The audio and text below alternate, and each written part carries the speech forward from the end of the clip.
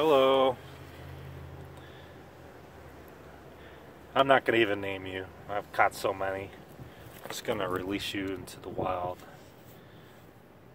There you go. How you like it in there, huh? I outsmarted you. You can see how there.